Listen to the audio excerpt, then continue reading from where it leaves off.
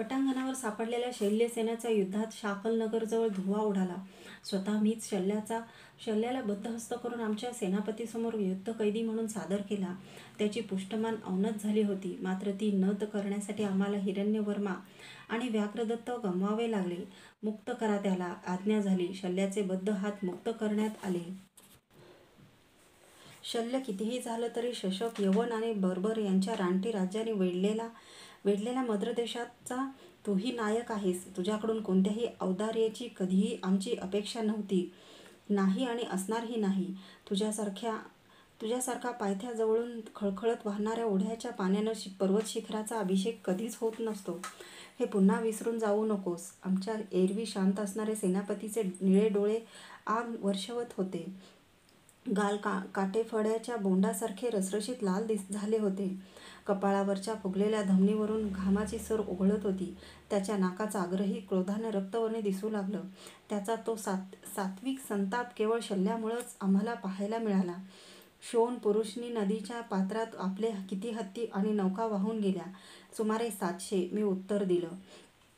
त्या सर्वांची या मद्रराजाकडून भरपाई करून घ्या. आणि त्यानं क कटिवस्त्रातून शल्याचंच भूर्जपत्र काढलं. माझ्या हाती ते देत शल्याच्या कंठात आपल्या विजयी धनुष्याची माला घालून त्याला गदगदा हलवून तो मला म्हणाला, या क्षत्रिय क्षत्रियत्वाच्या अहंभावानं अंध झालेल्या रानटी राज राजाकडून याच भूर्जपत्राच्या पृष्ठभागावर एकदा नव्हे तर पाच वेळा लिहून घ्या की, सूतपुत्रसुद्धा बुद्धिमान असतात आणि युद्धकर्म चांगलं जाणतात, कधीकधी तर नामधारी क्षत्रियापेक्षाही अधिक. त्याच्या कपाळावरची धमनी थडाथड उडत होती. निमुळती जोड हनवटी थरथरत होती. शल्याचा पराभव झाल्याची वार्ता आपोआप पंचनंदात सर्वत्र पसरली. भोवतीची बर्बर, यवन, शशक, कांबोज ही राज्य आपोआप शरण आली. सर्वांचे कारभार घेऊन आणि शल्याकडून सर्व हानीची भरपाई करून घेऊनच आम्ही पंचनदा बाहेर पंचनदा बाहेर पडलो. पश्चिम दिशाही संपली. जणू शल्य हाच त्या दिशेचा मुख्य रक्षक होता. वैशाख मास सुरू झाला होता. आम्ही बाहेर पडून पाच मास झाले होते. सौख्याच्याने युद्धाचे दिवस कसे निघून जातात हे लक्षात येत नाही. निदान योद्धांच्या तरी ते कधीच लक्षात येत नसावेत. आता एकच दिशा उरली होती, उत्तर. या दिशेकडं केवळ पाचच राज्य होती. वैशाखात ती हस्तगत करून वर्षा ऋतूपूर्वी आम्ही हस्तिनापुरात परत पाऊल टाकणार होतो. आमचं सैन्य कुठेही वर्षा ऋतूच्या मुसळधार पावसाच्या तडाख्यात सापडू नये ही आमची योजना होती. उत्तर दिशेचा काश्मीर देश समोर धरून आम्ही एकलग धावत होतो. काश्मीर! सर्व आर्यवर्तात इतका निसर्गसुंदर असा दुसरा देशच नव्हता. या ठिकाणीच पर्वतराज हिमालयाचं पहिलं दर्शन होणार होतं. धोक्यानं झाकळलेल्या द दऱ्यातून आमच्या सेनापतीच्या जय जयकाराचे प्रतिध्वनी उमटणार होते. काश्मीर म्हणजे आर्यवर्ताच्या स्वरूपात उभ्या असलेल्या यौवनसंपन्न निसर्गदेवतेच्या मस्तकावरचा सौभाग्य तिलकच काही पंडित कविवर्यांना हस्तिनापूरच्या राजसभेत काश्मीर म्हणजे स्वर्गाचं पृथ्वीतलावरील प्रतिबिंब असं वर्णन करताना मी पाहिलं ऐकलं होतं. पण प्रत्यक्ष पाहताना मला उलटाच अनुभव आला. स्वर्गाचं निदर्शक असलेल्या आकाशाचा केवळ एकच रंग होता, निळा. पण काश्मीरच्या भूमीवर इतके रंग एकवटलेले होते की, स्वर्गात राहणाऱ्या देव देवादिकांनी कधी काळी आपल्या निळ्या राजकक्षाची गवाक्ष उघडून खाली पाहिलंच असलं असतं तर त्यांनाही तत्क्षने व स्वर्गाचा त्याग केला त्यांनीही तत्क्षणी स्वर्गाचा त्याग केला असता. काश्मीर म्हणजे अशा दिव्य मनोहारी विविध वर्णी मुक्त सौंदर्यानं विन विनटलेला स्व प्रत प्रतिस्वर्ग होता. आम्ही काश्मीरात प्रवेश केला तो ऐन वसंत ऋतूचा काळ होता. वसंतामधील काश्मीर पाहणारा कितीही पाषाणहृदयी असो, तो निसर्गाचं ते विहंगम, मुक्त प्रकटन पाहून त्याच्यापुढं नत झाला असता. आमच्या समवेत अश्वत्थामा असता तर वेडावून त्यानं मस्तकावरचं वस्त्र काढून ते सरळ अवकाशात उडवलं असतं. हिरव्या लुसलुशीत ग गवताची तलम वस्त्र परिधान केलेल्या पठारावर मुक्तपणे शरीर झोकून तो आकाशाचा गहन गंभीर निल निलिमाट घटकान घटका पाहू पाहात पहुडला असता.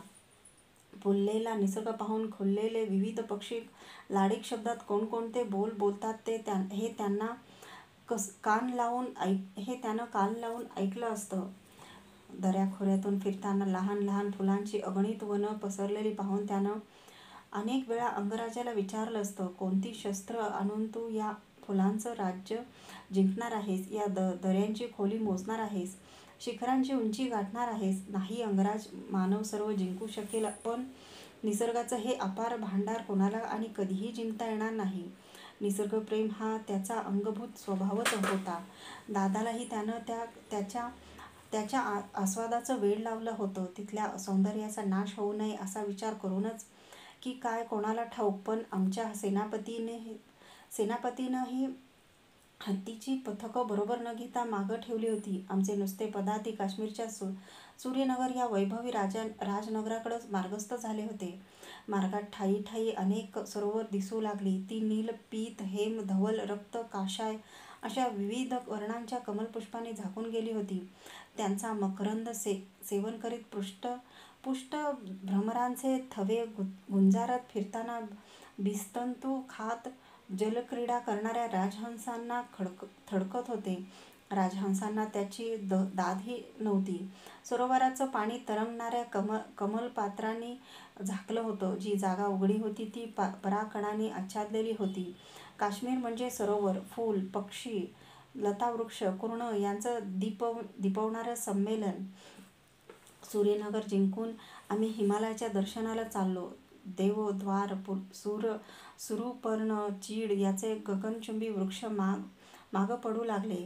चंडोल चक्रवाक चा चातक कपोत मयूर भरद्वाज सारंग असे अनेक पक्षी हिमालयाकडं जाता जातात. नम्र हो होऊन जा असा संदेशच आम्हाला देऊ लागले. कर्दळ निशिगंध मदनबान यांचे ताटवे मागं पडले. शेवटी भू भूभाग संपून हिमालय प्रदेश दृष्टिक्षेपात आला. हिमालय मानवाला धाक बसव बसावा म्हणून जणू विश्वविधाता विश्वविधाताच आपलं धार धारदार खडग मॅनाबाहेर काढून आमच्यासमोर एका शिखराच्या स्वरूपात उभा होता. हिम वितळून पाझरणाऱ्या ढगांनी भोवतीनं घेरलं होतं की दूरवरच्या कैलासरूपी पर्वताच्या शंकर शंकराला लाजून उमाच त्या धाव त्या धवल ढगाचं वस्त्र सावरत होती. वेगवेगळ्या जागेवरून पाहताना त्या शिखराची विविध रूपं दिसत होती. कधी शुभ्र वस्त्र परिधान करून ध्यानमग्न ध्यानमग्न झालेल्या ऋषीसारखं कधी ध्वजदंडासारखं सरळ उंच तर कधी अधिऱ्या अधिऱ्या धरतीनं आकाशाला कवटाळण्यासाठी उंचावलेल्या कर्दळीसारख्या हेमवर्णी सतेज हातासारखं भावपूर्ण अंगराजानं गुडघे टेकून त्या पर्वत शिखराला भक्तिभावानं वंदन केलं. काहीतरी पुटपुटत क्षणभर डोळे मिटून तो तसाच गुडघे टेकून बसला. हात जोडलेले होते. मुद्रा धीरगंभीर आणि शांत होती. कानातील कुंडलांचं पाणथळ हिमात हिमावर प्रतिबिंब पड पडलं होतं. क्षणभरानं तो उठला. आम्ही पुढच्या दा दारद देशाची वाटचाल करू लागलो. दारदांचं राज्य जिंकून हिमालयाच्या पायथ्याजवळ आमची वाटचाल सुरू झाली. मागं राहिलेल्या हत्ती पथकं पुढच्या तंगन राज्यात येऊन मिळणार होती. हिमालयाची विविध रूपं पाहताना मग मन गुंग होऊन जात होतं. हिमालय म्हणजे पर्वतरूपी पक्ष्यांच्या पंखसंपन्न सम्राट गरुडच. किती योजना किती योजनांपर्यंत त्याचं साम्राज्य पसरलं होतं. दुग्धवर्णी धवल निथळणारं निवळ. असी की अशी की न नदीचं नितळ पा असं की नदीचं नितळ पात्र ओलांडून तंग तंगन राज्यात प्रवेश करताना त थंडीची तीव्र जाण जाणवू थंडीत थंडीची तीव्रता जाणवू लागली. ऐन वैशाखात आम एवढी बोचरी थंडी होती. मग शरदात केवढीत असेल या विचारानं तिथं तग धरून राहणाऱ्या तंगणांचं आम्हाला नवल वाटलं. सैन्यशक्ती कमी असलेल्या तंगणांनी कारभार देऊन आमचं स्वागत केलं. बोरास फुलाचं चवदार खाद्य दिलं. हिमवान प्रदेशात जाण्यासाठी तंगण देश सोडताना मनात भावनांचा गोंधळ उडाला. हिमवान प्रदेशात आम्हाला आता गंगेचं उगमस्थान पाहायला मिळणार होतं.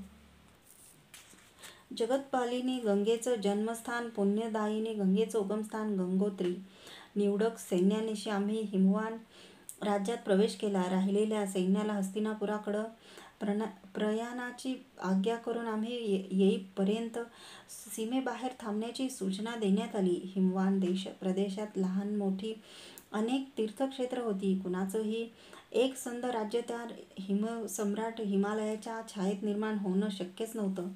आम्हीच काय पण आर्यवर्तातील सर्व राजे एकसंध होऊन आले तरीही ते शक्य नव्हतं. आणि खरं तर आता स्वारी संपून यात्रेला सुरुवात झाली होती. केदारलिंग मागं टाकून आम्ही पायीच य यमुनोत्री गाठली. यमुनोत्री, यमुनेच्या पुढं फोकावलेल्या यव यवनाला जीवनरस देणारी जीवनदायिनी, अनंतकालापासून हिममय शिखरातून पाझरणारी, हिमाच्या धवल पटांगणावर खळखळत बागडणारी. यमुनेचं पाणी हाती घेऊन ते ओंजळीतून अर्ध्यार्पण करण्यासाठी दादानं योद्धाचा वेष खाली उतरवला. एक साधं अधैर्य धारण केलं. दिग्विजयातील युद्धात सतत शस्त्र चालवण्यामुळं सतेज झालेल्या त्याचे पुष्ठदंड उघडे पडले.